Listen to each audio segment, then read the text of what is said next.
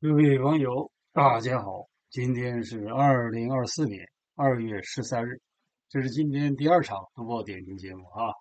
关于山东的莒县的事儿，大调来了啊！首先，我声明我是反对任何暴力的啊，我不主张暴力，我只是依据媒体的报道跟你们分享啊，告诉你们有这么件事儿。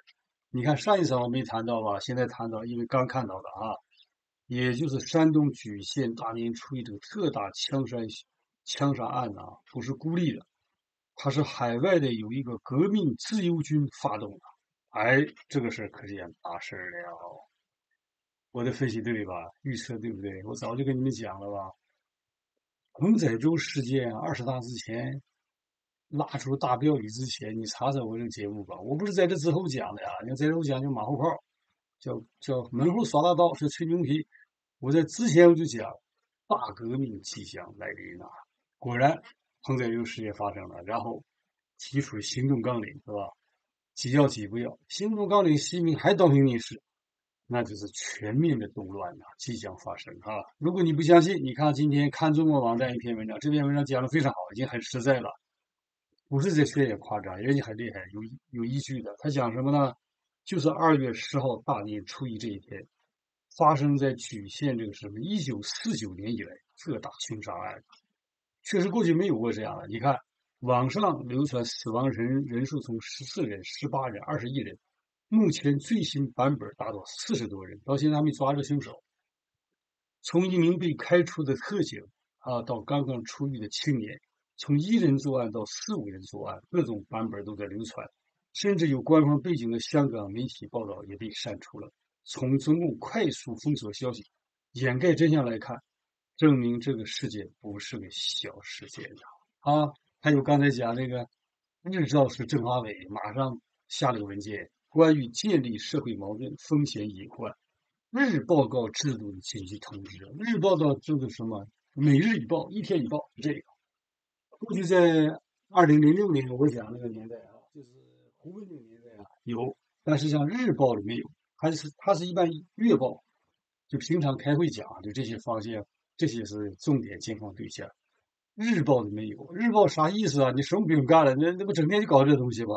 这证明事态严重了啊！你看，呃，关于他讲这个日报的这个选项，我不去重复，上讲上一讲已经讲了啊。我要给你讲讲看中国网站今天披露的新消息。他说对此有网民认为呢。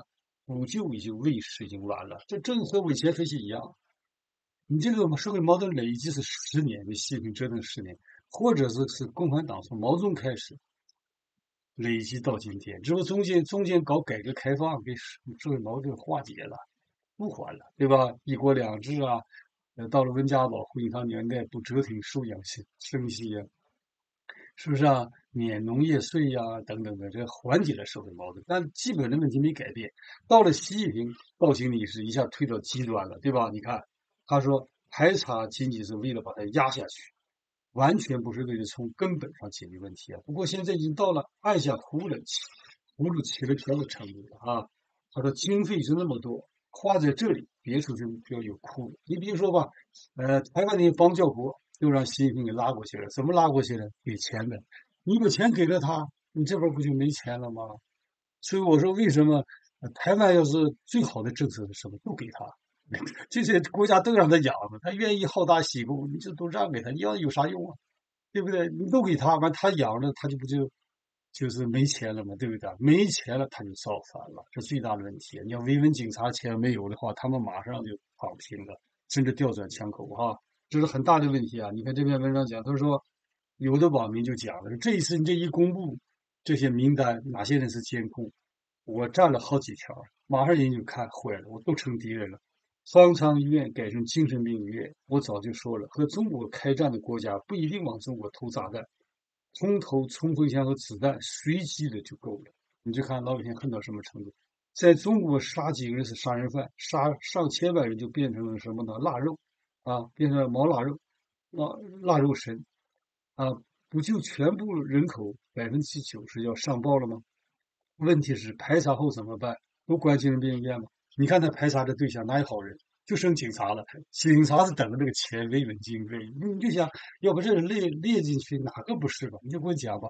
就算这些哈民营企业家有了钱移居到海外，你回去以后，人家你设设海外关系，从自由世界来啊，内部都是，也许是特务，他开始怀疑你，对不对？也不也对你也不放心。你出去以后，难道说你一点儿不带点线索回去以后，使他们感到怀疑？你就是没有事儿，他还在琢磨着你是从浏阳回来的海外敌律师。你你看那个抓抓间谍特务电影不讲了，海外来人了，咱们从小不就懂海外来人了？全全全你你说现在你现在怎么怎么过？你给我讲，敌人特别多，全是敌人，是不是啊？就老百姓反映的非常深刻啊。那当然。这些事情我不去给大家重复了啊，重复就什么呢？刚才看到了最大的问题是什么呢？原来这场事件早就有一个组织在海外宣称是他们搞的。你看，你咱们从时间点上看出来啊，他不是过后诸葛亮，他不是过后承认的，他以前就承认他要搞一场革命啊。你看，他是啊 X 平台账号叫革命自由军，我是第一次看到这个，我没看过，我只是以前看过那个就是。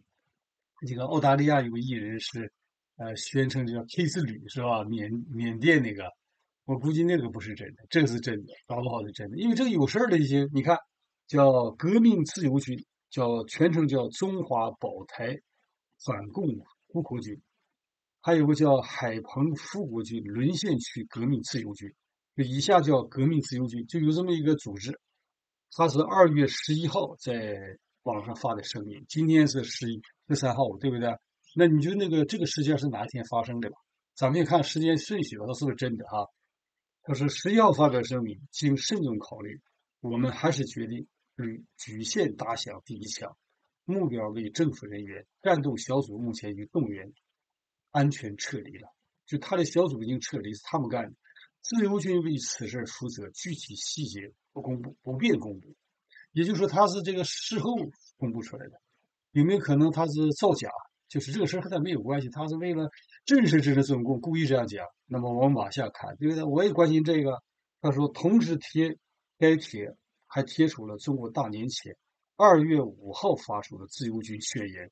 哎，如果这是真的话，那就他干的。你看，二月五号还还没有这个事儿啊，对不对？那证明你时间顺序能够能能够对上。他说，八零后很可能在中国春节前动手。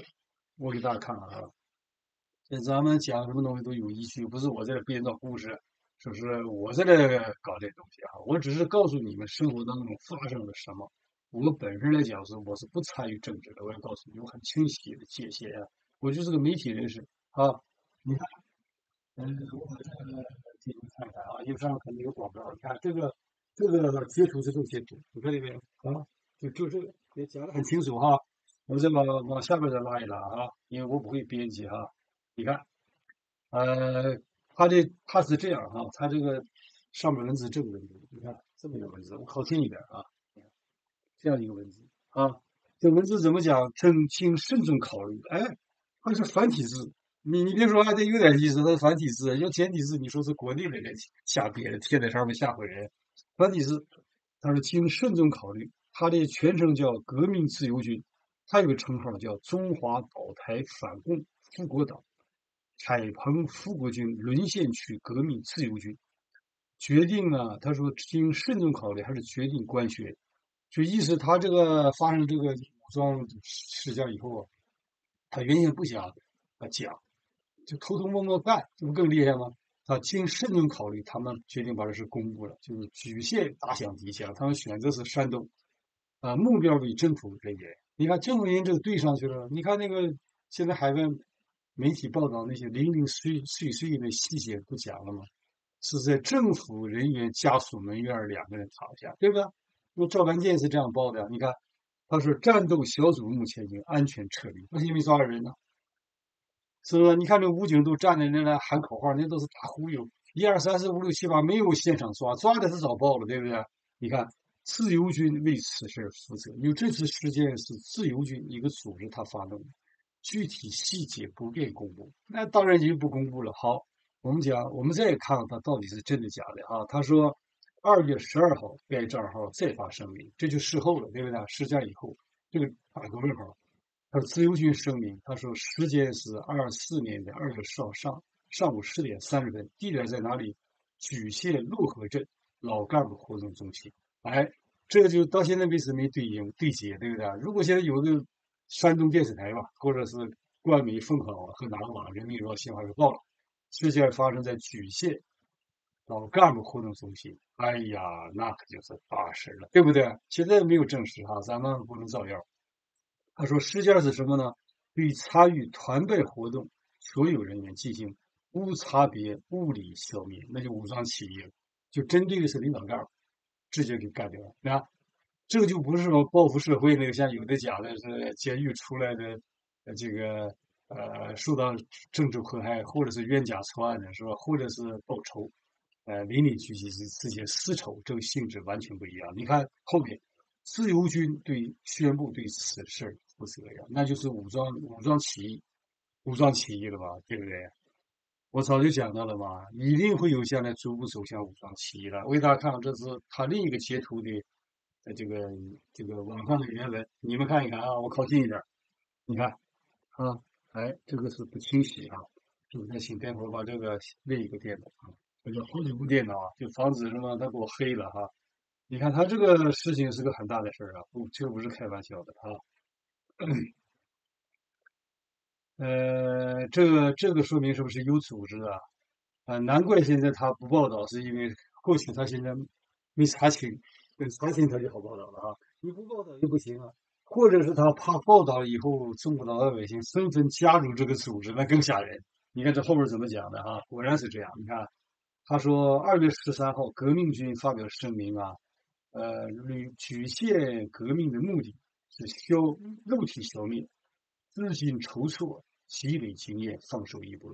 这等于和啊刘晓波当年那个不一样了，那是合理非。对不对？和平理性非暴力，就是你看你杀了我，我也不反抗，我就是宣传，是吧？动员，要不最后李小波就要灭了嘛，是吧？这个你只能怪罪你共产党了，对不对啊？你要如果说始终是这样，让大家自由表达，也不打压律师，让律师带领群众维权，这个社会就属于和平呃转型，慢慢转型，叫和平演变。共产党又不想这样啊，习近平想这个萝卜地瓜地头咔嚓，我全给你们除掉。这是不是啊导致什么整个社会裂变的？这是这是社会结构的变化，完蛋了啊！他说：“你看，他说莒县革命意义是打破中共强大的神话，凝聚共革命共识，各使两岸彻底对立，形成灭共呃复国统一战线。曲线革命总结情报及时准确，计划周密详实，战前动员有力，行动迅速有效，确立有条不紊。”都做到了，你到现在没抓着人，你这么多的武警在忽悠完，到现在你看哪有没有任何报道，对不对？刚才我查一下中纪委呃政法委的网站啊，静止的，什么也没有，还和以前一样。你看，呃，最高领导慰问法院老领导，我讲到的是张军是不是？最高检察检察院看望慰问老领导应有，公安部呢不慰问，因为赵志已经抓了，怎么慰问？那么公安部干嘛呢？就是王小红在进行什么呢？主题思想教育。安全部也在教育领导小组在强调什么呢？两两两个维护，你看有意思哈。这证明什么？证明他现在毛了，还没查清到底这革命军在哪里？那这都就就等于辛亥革命打打响第一枪了。那你怎么办？不知道该怎么办。你看这篇文章，那么到底是不是真的啊？那假如呃他是假的，那就时间对不上啊。我们看看他的后边的文字，还有他说呢。革命自由军账号在二三年十月十十一号就发了一篇招募人员的推文，你看这个事儿不是出来了？有没有这个？我没看过啊，我从来没看过革革命自由军的推特，因为推特上我上的很少。前一段时间我上了啊，我把我这放放上推，其实我叫他骗了，我怀疑我怀疑这是谁把我的推特账号占用了啊？怎么回事呢？我看那上面写的说，你要给转到推特上，你可以有点广告费。呃，这个你就，但是你必须订阅他一订阅他一年，一年一百多块钱，一百二十块钱，我挺心疼。咱想想，那这有这个盈利不挺好的吗？在现在 YouTube 发完转给他，对不对？有点盈利。他给我钱收走了，一点盈利也没有。我一看，去你娘的！从此以后我也不转你了，你爱上哪上哪待着上哪待着。我一生就这样，你骗了我，你反正你这你这个钱我就和你切割了，对不对？呃，就但这个推特我不怎么看哈，应该讲它影响是很大的哈。他这篇文章讲是推特上的，推特上面的这个消息哈。你看他讲了，他说广聚天下英雄啊，共创复国大业。哎，看着他的表述，似乎是台湾的，不 是？就台湾这更猛了，更厉害了！我的天，那就厉害大了！我跟你讲，这个是有待观察。他说是共创复国大业。推文表示，中国党自由军原来他是要恢复中华民国，叫自由党向沦陷区公开招聘，那就是你 台湾的事儿了，是吧？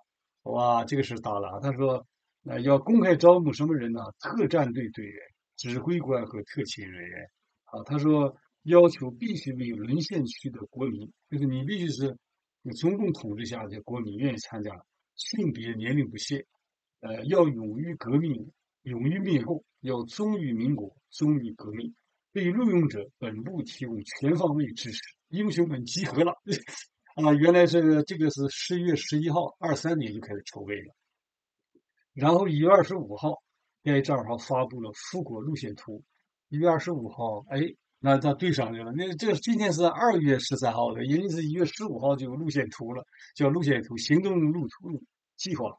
计划分五步，在全国三千个区县建立武装基地，组建武装革命力量。后来，你看，这证明什么？就是现在政法委毛了，这是有组织，那就厉害了。他说，用灵活的战术逐渐袭扰、消灭。赤，呃，鹿群，啊，赤赤鹿，那应该是这个好像那个看他的词儿，可能在在台湾搞的，这很难说了。侵略者同时不断的发展发展壮大，他意思是这是敌占区，就是原先属于中华民国的，现在让他占领了，是吧？啊，说用各种手段破坏其殖民统治基础，扰乱其正常这个生活秩序。他认为这是俄共，就是共产国际搞的。共产党确实是共，确实是共产共产国际，共产国际的海外敌对势力夺取了这个这个颠覆了这个中华民国，对吧？确实是这样。你看那个历史上都是这样。重大的事件就是这个张学良啊，你看那个蒋介石，这个到了晚年不最后给这张学良压压了很多年嘛？他俩以前是拜把兄弟啊。后来这个蒋介石见了他，就在刺在刺口见的是吧？见的不是张学良见到蒋介石的时候，呃，第一句话就讲说意思，呃，这个你老了，就是说这蒋介石你老了是吧？呃，蒋蒋介石委员长啊，委员长你老了也，蒋介石还生气，你看一见面这么多年，我压你，你还没改造好，他是这么直爽，他说你头都土了，你你蒋介石生气，你头都土了，然后。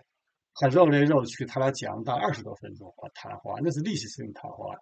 这个这个，其实张学良就想跟蒋介石哀求他，能不能就给我解禁放？他软禁了那么多年了，二十多年吧，是吧？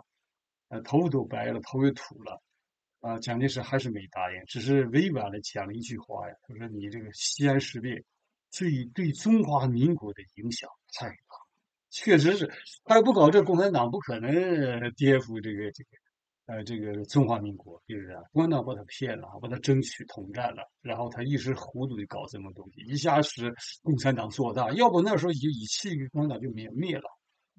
什么的，共产党他又不是真抗日，他借抗日这个东西把他自己起死回生了，是吧？你共产党是最大的骗子。你你就看他日本人这个这个战后这赔偿他就不要了，毛泽东给赦免，毛泽东不要讲感谢日本人，就张学良是就是被利用了。啊，他傻瓜，那晚年是很痛苦，很后悔。但是蒋介石不放的是因为什么？说不是我个人的事，你抓了我生气，我一条腿摔断了。更重要的什么呢？你使这个中华民国的损失太大了，完了，真的。如果那时候没有这个事儿，共产党早就消灭了，共产国际就不能实现在中国的是非这一套，对吧？所以国内媒体的报道张学良怎么爱国呢？都是胡扯的事儿。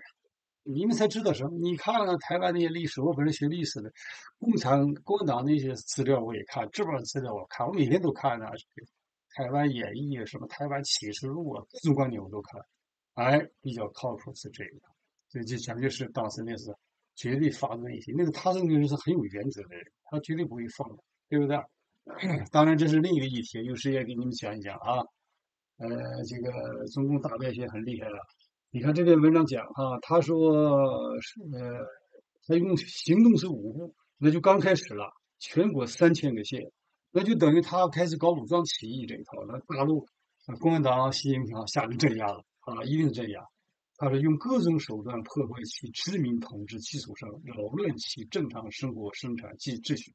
自由世界力量介入主导大陆全面革命，实现祖国伟大愿景。自由世界力量托管或军政、训政逐步过渡到宪政。他他这样讲的，说二月十一号，这个账号叫“革命自由军中华保台反共复国军”，也叫海澎复国军沦陷区革命自由军，好像是三支军队呀。他说发推文指出，本推为大陆自由军的官方账号，宗旨是什么？欢迎任何人参与复国革命讨论。军事战略战术的研讨，这个意思他要恢复中华民国啊！现在正好台湾是那个赖清德是总统，是吧？但是他现在台台湾基本上现在给我的感觉是政坛上是是一个旗鼓相当的这个情况，也就是韩国瑜和呃他的江启臣是吧？他俩控制的现在是立法院，是不是啊？这个这很有意思啊！因为我没去过台湾哈，这个是我。讲不好是井底之蛙，但是我每天都看着全世界的新闻，主要看台湾的。我为什么看？我要补上这一课，因为在过去共产党统统治下，我获取台湾信息全是假的。我一发现全都是假的，我就跟你讲，包括一些对些人历史人物的评述。你看以前咱们了解蒋介石怎么了解？不就看《金陵春梦》吗？说蒋介石可坏了，和宋美龄然后用那个牛奶洗澡，动不动一讲八零，他们都相信那不是上中下三本嘛。后来一看，那是小说瞎编，每一句一下是真的。蒋介石有他的缺点，但蒋介石绝对不是哪天用牛奶洗澡。牛奶怎么洗澡？你就想这牛奶，你那个天早就我就喝一杯牛奶，喝完牛奶以后，你的骨头不能脆弱，摔倒了不能断。你要一定要喝牛奶，老年人我就跟你讲啊，有些人他不听我的劝，他他不喝，结果一摔倒就完了，咔嚓一声。讲这个年龄啊，只要一断了以后。永远不可能再修复，你记住了，是不是啊？这当然是健康。有时间给你们讲讲健康。我老家每天游泳个四十分钟啊，到了水里了，嗖嗖游的。这扯到哪去了？这想举县啊，举县这武装起义，所以为什么共党先害怕？难怪这么长时间不报道啊，然后还断网，而且还给这个这个当地戒严了，就弄一个小小城市啊、小县城啊。这证明什么？证明大革命的来临了。因为如果每个县都这样，很快不就连省自治了？共产党一跑以后，就马上你很快，我就跟你讲，因为什么？他不得人心。然后习近平跑了以后，就把这些元老全赶到雄安新区去了。你总以和我讲一模一样，搞不好习近平就跑沙特去了。他很可能成为中国第一个见证以来跑出去的总统，嗯流亡海外。你你们不信，看着吧，他胆小。你看新冠一来，他第一个跑戴着口罩，对不对？我们来看这篇文章哈，他说革命军有这么几条，你看见没有？呃，你我给大家看看哈，你得放大一点。你看革命军这非常详细的，不是我在这讲的推特上面的啊，非常详细的行动纲领啊，这证明是一个组织在背后发动的啊，已经在山东打响打响第一枪啊，呃，广聚天下英雄，共创复国大业。呃，复国党自由自由军本部向沦陷区公开招聘这么几几项几几一些人物：特战队队员和指挥官，二特勤人员。他说，必须为沦陷区的国民，这个无论年龄性别，一旦录用录用，本部提供全方位支持。他啥意思？那就资金也支持，这个意思吧？呃，天地之大，任你驰骋。广阔舞台任你纵情施展，英雄们集合了啊！你看这讲的是非常的详细啊，这是看中国网站今天发表的一个最重要的一个报道啊，是不是真的啊？我不知道哈，我只是把这事告诉你。我最后再强调一遍啊，本人是一个自由表达的言论自由的平台，历来主张就是言论自由的啊，新闻自由的，是不主张暴力革命的啊。本人也是最早比较赞成。刘晓波的、贺礼飞的这个观点的啊，但是你不要忘记了，你合理飞了，他不给刘晓波灭了吗？所以中共这套东西，现在中国老百姓已经不相信了。所以说，你别怨的怨不了别人，你自己搞到今天这程度，苦果你自己咽吧，是不是？我也不知道下一步会怎么样，但是我预示，似乎这个世界有点不同寻常了啊！如果你不相信，他不光是异地呀，重庆今天也出了事儿，给大家也播报播报啊，这是万维网报道的，也不是我造谣。重庆已经成为中共官场最凶险的地方，尤其是刀把子的重庆系统，由谁掌握，直接关系到党中央可否掌握这个西南啊西部直辖市的关键这个啊这个问题。今天这个重庆发生了发生了一个一个暴力事件啊，只不过这个事件这样讲吧，呃，规模比较小啊，就是有个司机啊，昨天讲到了啊。重庆那个公安局的局长啊换啊换了一个新的局长了，换局长没有用。我看今天一个媒体开始分析说为什么换张安江，我对张安江不了解啊。呃，胡明朗早就以前曾经分析过。那么张安江怎么来的？根据今天多维网的万维网的报道，他说是呃五十三岁，是甘肃景泰人，工学博士，长期在甘肃工作，历任甘肃省发改委。固定资产处理投资处的处长，后来当了委武威市的副市长，啊，发改委的副主任，酒泉市的副书记、市长。那么，一九年十二月跨省调到了重庆市潼南区代理区长，二一年区长，现在变成这个副市长兼公安局局长。那证明他估计是是林铎那个圈子里的，王岐山这个圈子里。但是这样看也是个简单的。这个排排队啊，排这个这个简单的分析，我不清楚他是哪个派系的。但是你不要忘了，他的他在什么地方当过副市长？武威市副市长。武威是什么地方？你们知不知道这个火云贵这个人啊？知不知道张江宝红他俩搞破鞋的事知道吧？就是武威市有一个女的政法呃这个政法委书记，干了二十八年吧？啊，不是二十八年，官场一共干了二十八年。当政法委书记干了十多年，这个女叫江宝，长得你们看看吧，特有魅力。那绝对那眼睛是，那这眼睛里特别的，看了以后你肯定心动。美女江宝红，这个女孩不就是吗？就爱拉拢这领导干部，每个官场男的全睡遍了。这个女的，这个女的她她欲望特别强，就江宝红。江宝红就给这个和这个火云贵是市委书记，他俩就不能办公了，这个城市就 他俩说了算。就是武威啊，这你看这个案子都有，这个人在那当副市长，你你你说他他是谁的线儿？咱不知道谁的线是吧？我要告诉你什么呢？如果是张安江来自这个背景的话，习近平也是利用他，他不是习家军，搞不好也是像胡明朗用完就给你抛弃了。这习近平就玩这个东西啊，都是一茬一茬一茬一茬，他最相信就是福建帮这个自强新军。我跟你讲，都是利用，不管利用谁。来了以后都是维稳，只要这个体制不变，都要进监狱。别看你晃那一圈都是进监狱啊。那么重庆出什么事儿？这是看中国网站今天发布的。大年初三，二月十二号，渝中区一辆云南牌越野车横冲直撞，连撞数车，并暴力冲撞武警警察。你看见没有？那么涉事司机被武警抓了。没有人受伤，这是推特平台发布的，叫北京侃爷推出的视频，是视频呢，不是我在这瞎编，人也不是瞎编啊，呃，但是人这个是有版权的，那那个五爷这个版权也是在优秀的网站上啊，我就为了播放，播放以后，人家是法治社会的美国、加拿大，你优秀网站马上来通知了。你某年某月几点几分到几点几分，这个广告的钱必须扣除，是吧？对你进行警告，这个属于人家的，你知道吧？你放也该放，你告诉你就有那么件事儿啊。这个而且你得受批评，因为它有规则，这个这个这优秀网站是有规则的。我跟你讲，你按照规则啊办事，你就不容易挂黄标。你挂黄标是因为你违规，是不是啊？我告诉你啊，因为咱们这是个对咱们来讲是个工作，说心里话啊。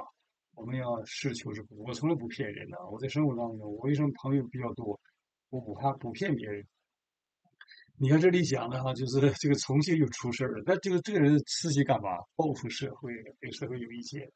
当然这是零散的，这和这个莒县的不一样。莒县莒县这个现在官方到现在为止搞这么大的动作，可能他们已经知道了，这是一个就是由海外的，就是叫革命自由军操控的一场什么一场这个武装起义，对不对？这第一起，如果真像他讲的遍地开花，习政权大势去啊，就不用美国打你，美国给你围上去。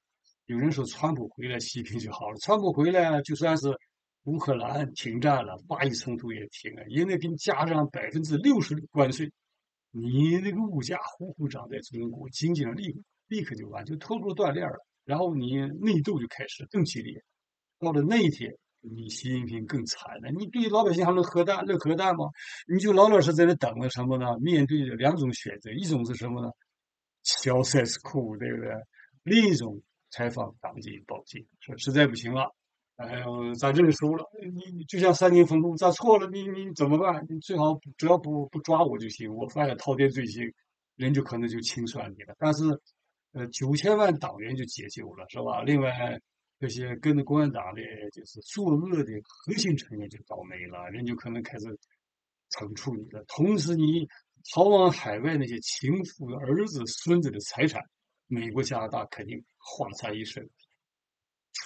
这一天是给我的感觉似乎已经到来了，真的啊！咱们做评论的啊，上述消息我再次强调啊，我不主张暴力革命啊，我只是把这个消息完整准确告诉你们，社会怎么样发展，它是有演变的过程，叫社会结构已经发生了巨变了啊，走不回去了。